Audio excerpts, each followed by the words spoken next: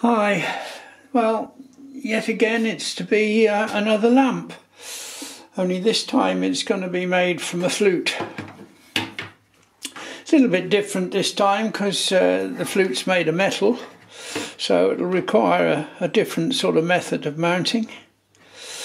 The flute comes in three pieces um, the bottom section and the mouthpiece. Um, it's not a good flute, otherwise I wouldn't be doing this. Um, it really needs uh, a new mouthpiece. This one's got uh, a damaged lip plate here. There's also a, a, dent in the back there, and another one around the corner there. So, first job really um, is to join up the three the three pieces. And because they're a sliding fit, airtight, obviously, to play the instrument, um, it needed a, a, very thin, watery type of adhesive.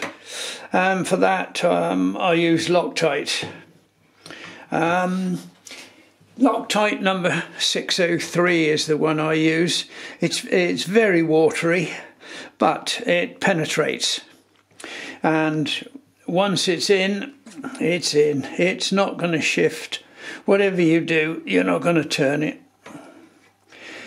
It requires quite a bit of heat to actually break the seal. Um, so the bottom end uh, will go into the same block of wood which I've ordered. Uh, hasn't arrived yet. Um, and the other end, of course, where the bulb goes, I've removed the tuning plug from the end. Um, this is actually slightly tapered there, and you put the cork in from that end. And this little threaded piece here, you screw it in, and it gradually pulls the cork further and further into the cone um, until it's in tune. Uh, and there's a, a little marker which lines up with the centre to tell you when you're in tune, supposedly.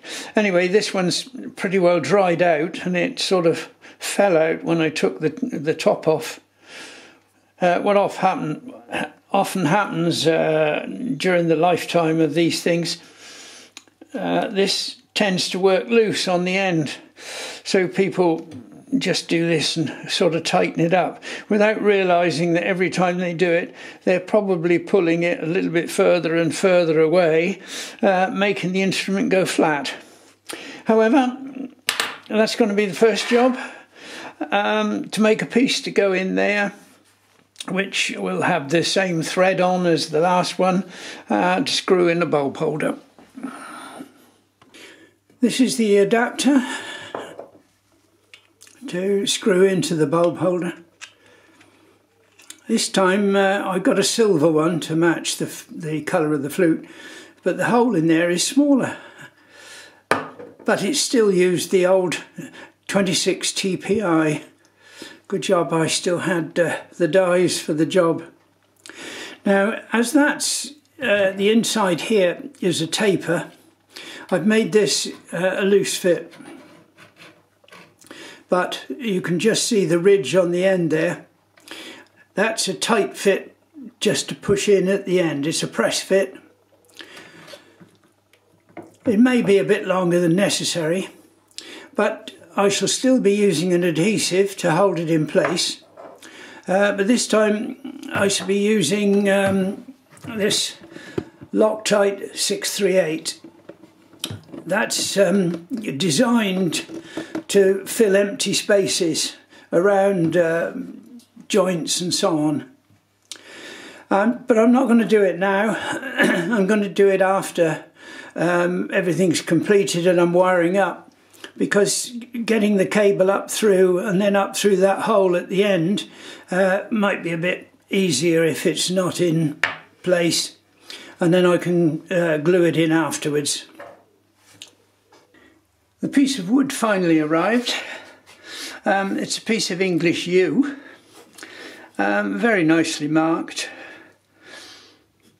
Um, unfortunately, he's got two centre marks there and I've just checked uh, and it's uh, they're both not quite accurate. Um, it's been nicely finished round the edge, so it is a, a decent circle. Um, up till now, other pieces of wood I've had have been roughly sawn and it doesn't matter. But I don't want to waste any of the wood. So I'm going to drill it through from the other side.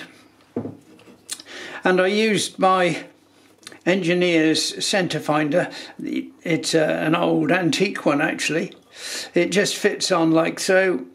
And you just draw a line along there and then another one. And where they intersect uh, is the centre of your circle. So I shall drill from this side uh, for the support to hold it in the lathe uh, to turn. There comes the question of how to attach the block of wood to the flute. I could use wood uh, to go up, but I was always afraid that that might get snapped off if somebody leant against it or anything. Also, you've got the problem of sticking the wood with some sort of adhesive to the metal. So I've come up with a different idea. I've made a, the spigot out of brass and uh, that will obviously stick in quite simply um, with a Loctite and this time the 638 will, will do a good job there because I made that loose and I've used the coarsest thread I've got, which is uh, a pitch of two, two millimeters between peaks. Um, and I've tapped a thread in the block of wood. The wood's got a fairly close grain and it seems to have uh, cut a reasonable depth. I did have a bigger size, but the pitch was one and a half. Um, so it was a toss up really, but I've gone for the, the deeper tread and that will just screw in like so and then I can hold that in the lathe to turn the each side in turn, the back and the front. And then when it's I'm on the last bit, it can be left in there and then glued in place into the flute. So it's just now a question of mounting it all up, sticking it in the lathe and turning up the plinth.